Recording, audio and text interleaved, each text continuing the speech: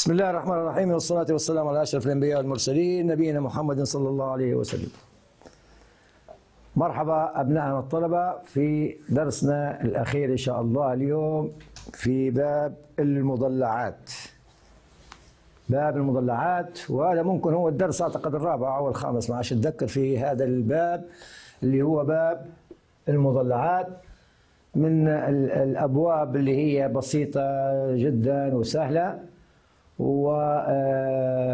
وفي الامتحانات النهائية دائما يعني نتعامل معها.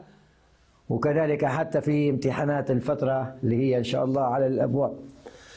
بداية درسنا اليوم يا شباب قبل ما نخش في حصتنا أو في درسنا نبيك تدون أيوة القوانين اللي هي موجودة أمامك.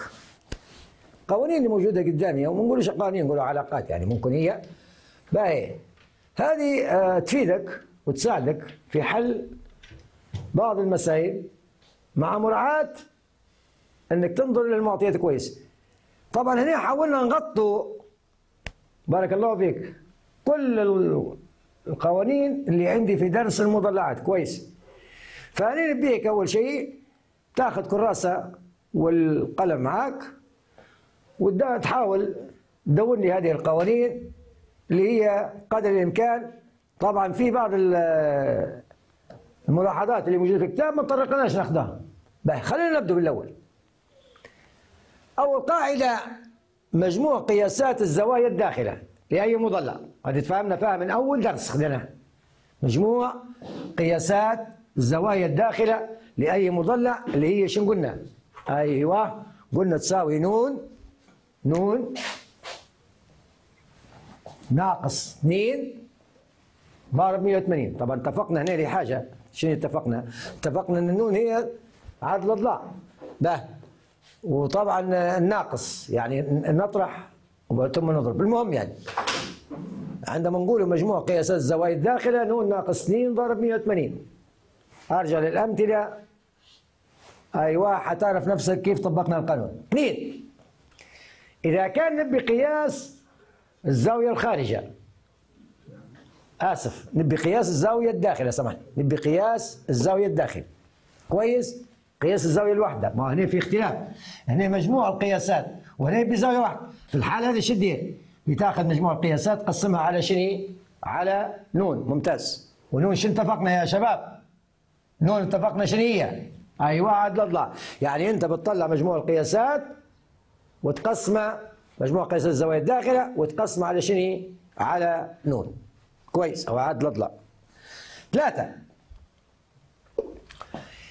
عدد الأضلاع هنا انتبه معاي عندك فقرتين. عدد الأضلاع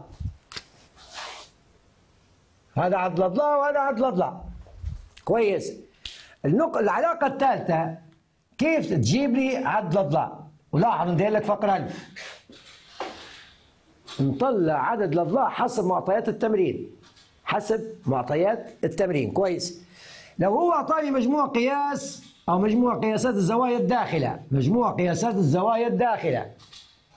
لو ترجع معي لأول درس نتذكر في تمرين أعطاني مجموع الزوايا 900 درجة صح؟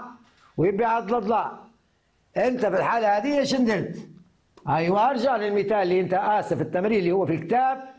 صفحة 133 أيوة أرجع له حتلقى يبيك عدد الضاء أعطاك مجموع الزوايا 900 يعني أنت توني نقصد هنا كيف أنت تستفيد من هذه ال- ال- العلاقة.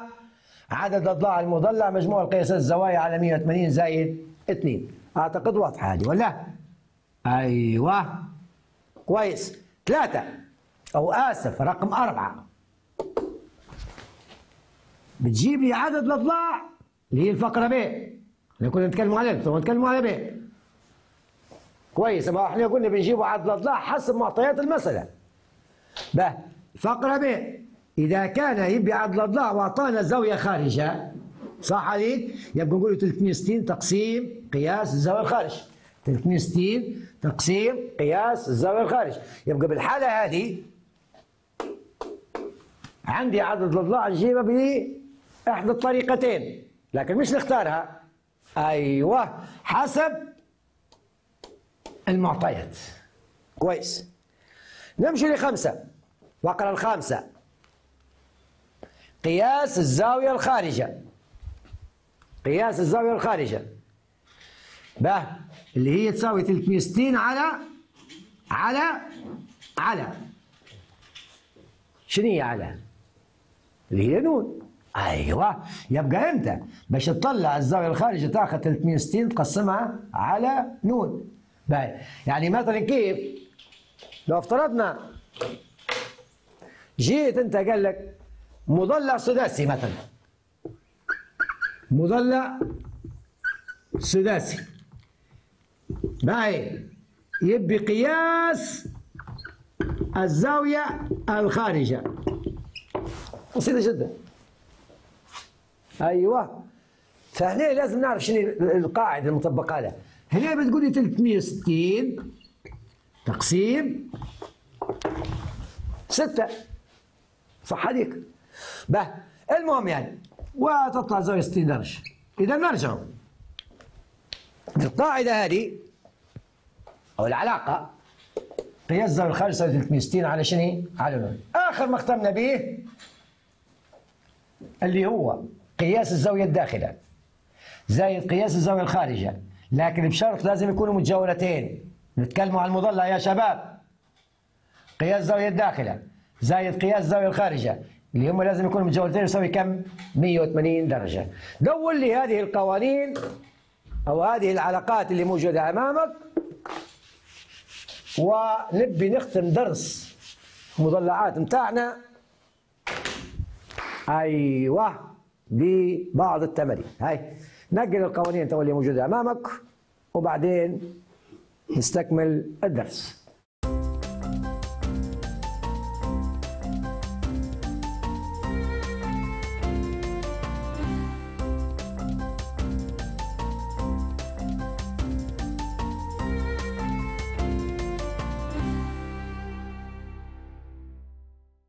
بعد ما انتهينا توا افتح معي الكتاب أفتح معي الكتاب هاي ونختم باب المضلعات هذا بهذه التمارين من ورقة المراجعة.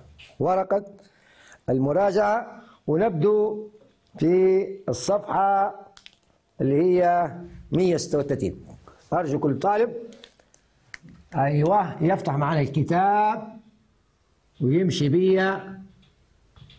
صفحة 136 هناخده زوز تمرينات. التمرين الأول؟ اللي هو فقرة ألف. رقم واحد. رقم واحد. باهي فقرة ألف. باهي شن قال لي؟ أحسب مجموع قياس الزوايا الداخلي للشكل العشاري. أحسب مجموع قياس الزوايا الداخلة للشكل العشاري. نمشي لأول. صح ولا إذا أنت ما فيش داعي نكتب القانون. والحمد لله عندك مساحة في الصفحة هذه تو. أيوة. به. بتجي. بتقول لي نتكلم على فقرة ألف. مجموع. قياسات. الزوايا الداخلة. أرجع بيه هنا.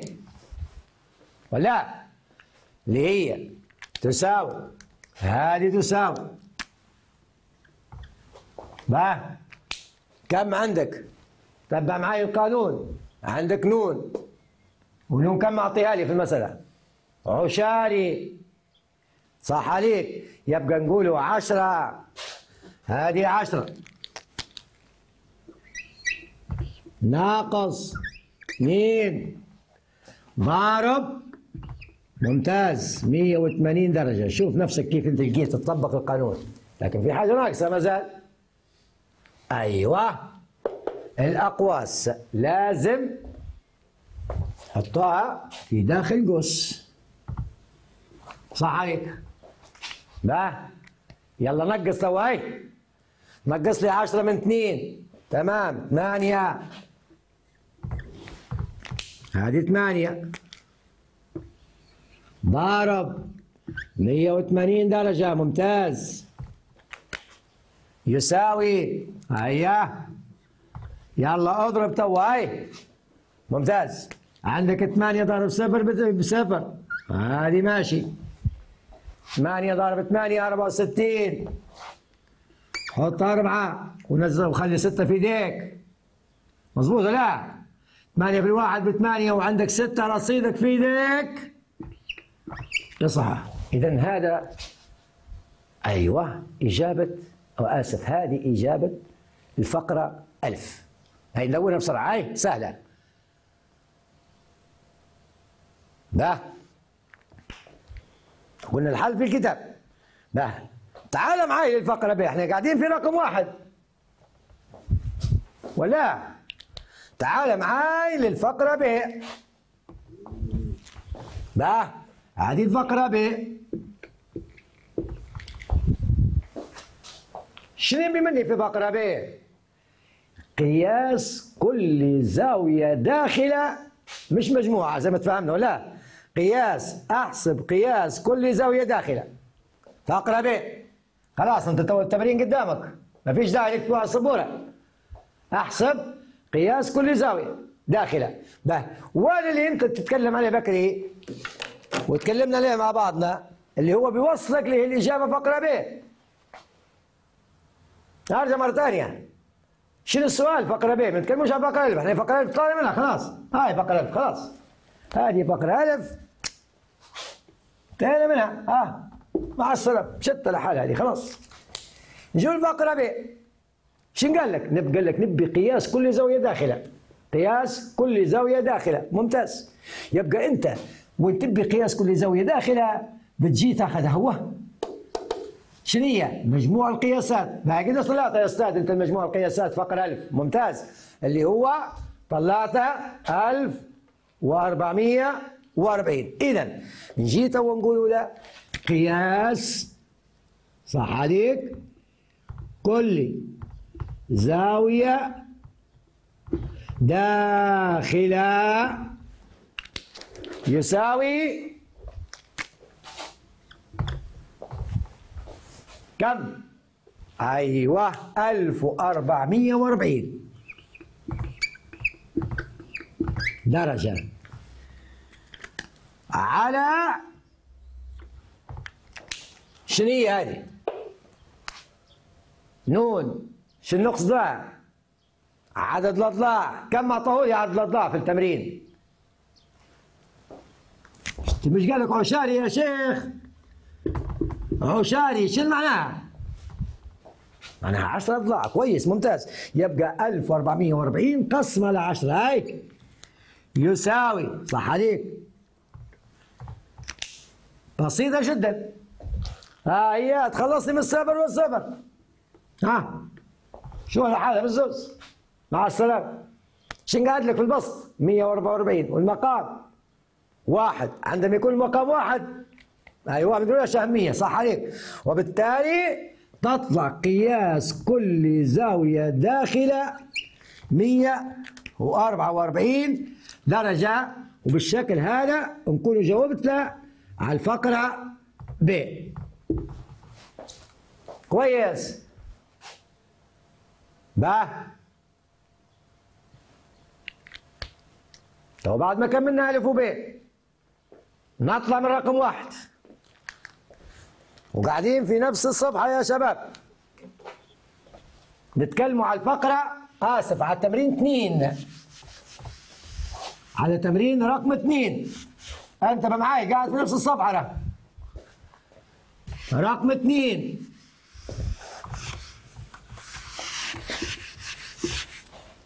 تمام. عندنا في رقم اثنين.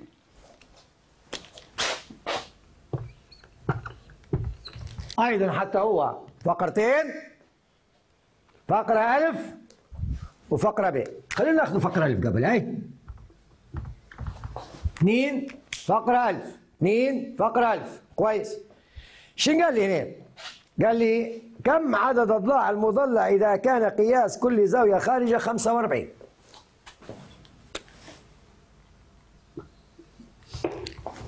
يبي شنو؟ يبي نون يعني يبي عدد الأضلاع ولا؟ با. وانت عندك عدد الاضلاع قلنا عندنا بطريقتين. صح ولا؟ عدد الاضلاع كان أعطاني مجموع الزوايا. نستخدم الفقرة 1000 مجموع الزوايا على 180 زائد 2 وكان أعطاني الزاوية الخارجة أسهل منها. أسهل من القانون الفقرة القانون الثالث. قلت 360 على الزاوية الخارجة بقى كويس. أنت حاليا شنو أعطيك أنا؟ أعطيك الزوايا الخارجة اذا أنت في الحالة هذه بتجي تقول لي عدد الأضلاع يساوي بتدير معاي تقول لي إيش؟ 360 درجة اللي هي مجموع قياسات الزوايا الخارجة للمضلع. على على إيش؟ شنو أعطيها لك؟ كم؟ كم؟ ممتاز. 45 درجة.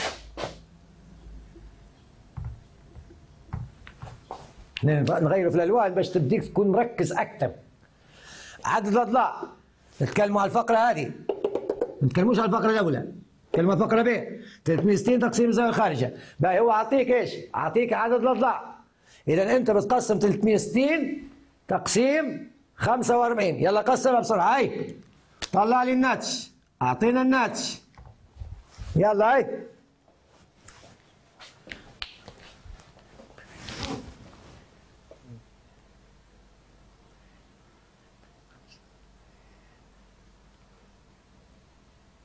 كم يطلع؟ أيوه يطلع. ثمانية اضلاع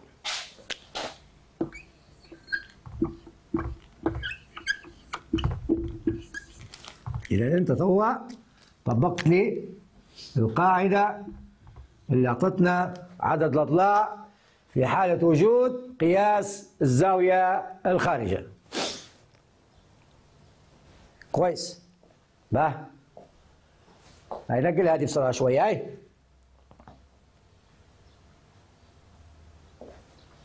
نمشي للفقرة ب. الفقرة ب. تكلمنا على اثنين ألف. نتكلموا على اثنين ب.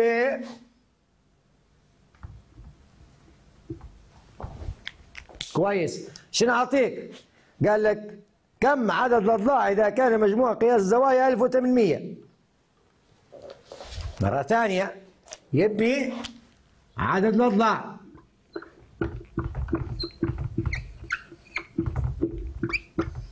تمام. اللي هي تفهمنا أن رمزها نون لا. وأعطيك مجموع قياسات الزوايا كم أعطاها لي أعطانا مجموع قياسات الزوايا 1800 انتبه ليه. أعطيك مجموع قياسات الزوايا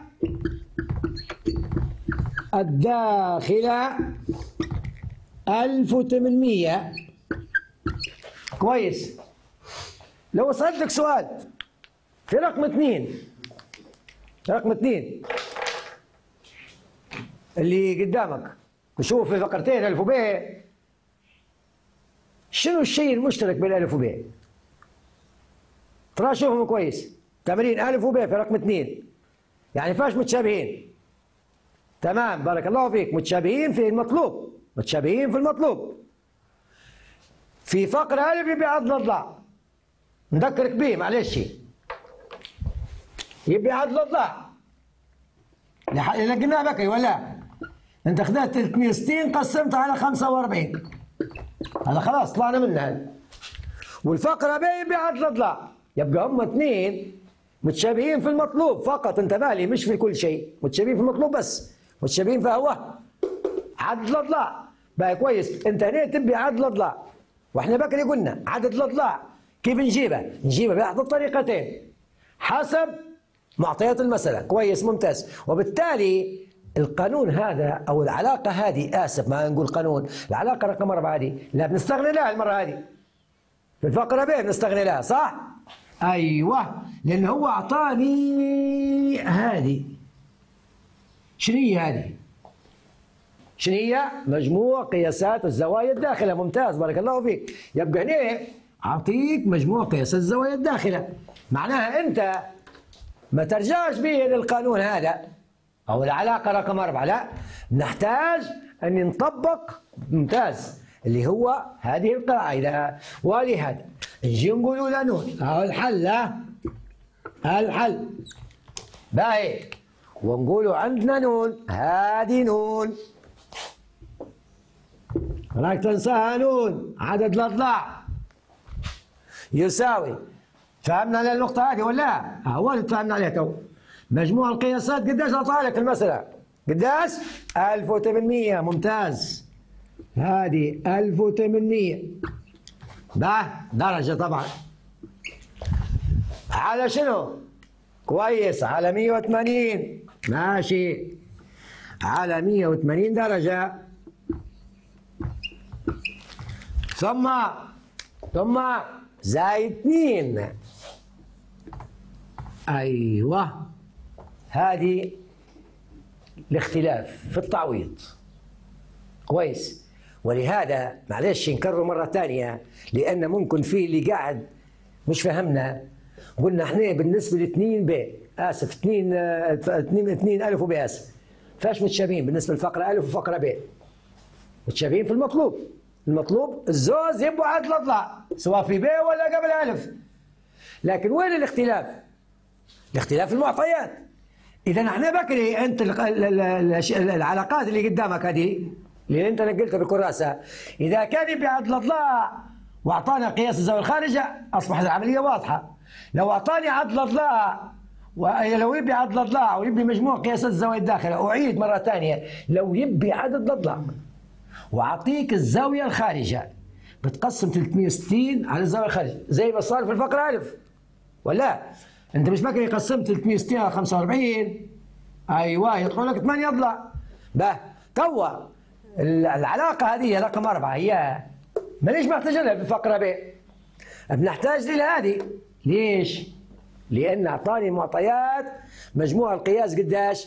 أو مجموع قياسات الزوايا الداخلة. أيوه. اللي هي عندك كم أعطاها لي؟ 1800 نقسموها على 180 ونطلع الناتج تعال نقسموها مع بعضنا هاي تمام. هذا بيمشي مع هذا. مع السلامة. باش نقعد لك فوق؟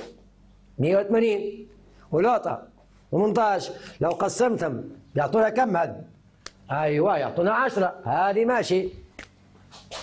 أيوه فيها واحد فيها 10 ممتاز. تعال أجمع العشرة مع اثنين توا يلا نون تساوي 12 ضلع. شفت الاختلاف؟ توا الاختلاف وين؟ الاختلاف في القاعدة والطباع يبقى المضلع فيه 12 ضلع. بالتالي هنا قدرت نطلع له عدد الأضلاع بطريقتين. طريقة فقرة ألف وطريقة الفقرة ب. فاللي نبي نوصله لك أنك لازم دائما تشوف معطيات المسألة. قبل ما تبدأ تحلل لازم تشوف المعطيات. باهي. فاللي وصلنا له تو حاليا تمرينات هم الاثنين اللي هم أعطونا خلاصة الباب المضلعات سواء كان رقم واحد وإلا رقم اثنين. باهي. ولهذا إحنا في رقم اثنين أعتقد عرفنا كيف نجيبوا عدد الأضلاع المضلع باحدى العلاقتين. في نهاية الدرس في نهاية الدرس إن شاء الله نكون فهمنا باب المضلعات وهو باب الباب السادس طبعا. هو باب سهل جدا وبسيط ولهذا يبي قليل من الانتباه ويبي تعرف معطيات المسألة كويس وتفكر في المطلوب وأهم شيء إنك تعرف القاعدة اللي بتعوض بها باختصار. اللي نبي نوصلوا له إن الأشياء اللي قلناها هذه بدل ما تقعد آه، تراجع بالكراسة أو تراجع من الدروس اللي اخذناها مع بعض نحن توا. لخصت لك القوانين زي ما كتب لك الخلاصة. حاول إنك هذه القوانين مش غير تكتبها لا حاول آه، تعرف إمتى تطبقها هذا المطلوب. فأنا نشوف فيها قوانين أعتقد من السهل توصلك للمعلومة. فكل اللي نتمناه منك صراحة أن نرجع في البداية. التمارين اللي أعطيناها طبعا في الماضي نلتزموا بها. الخلاصة هي ما تقولش تفتح في الكتاب وتراجع فيه وتقرأ من الكتاب ولا تقرأ من الكراسة ولا الأشياء اللي إحنا اخذناها مع بعضنا. حاول بطريقة ملخصة جدا جدا جدا اللي هي تاخذ هذه القوانين. طبعا في أشياء أخرى ما دوناهاش موجودة عندي في كتاب واضحة ما فيش داعي ندونها زي قياس الزاوية الخارجة أو آسف زي مجموع قياسات الزوايا الخارجة. ففي نهاية درسنا اليوم إن شاء الله اليوم يعني بهذه النقطة آه، انهينا درس باب المضلعات. درسنا القادم إن شاء الله حيكون باب التماثل وبنحاولوا على الأقل ما نعطوش إلا في حصتين يعني هو باب بسيط وسهل جدا. باهي. فلهذا اللي بنقولوه إحنا توا حاليا اللي نبغى نوصلوا له آه، بمثالنا هذا وبتمريننا هذا وبالقواعد اللي كنا نتكلم عليهم. نكون هنا درس باب المضلعات الباب السادس. آه، أعيد وأكرر.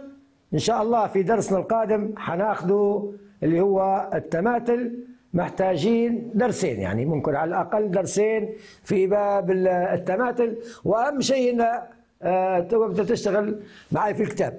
في نهاية درسنا نتمنى لكم التوفيق للجميع ونتمنى السلامة للجميع. وإن شاء الله نتلاقوا في الدرس القادم.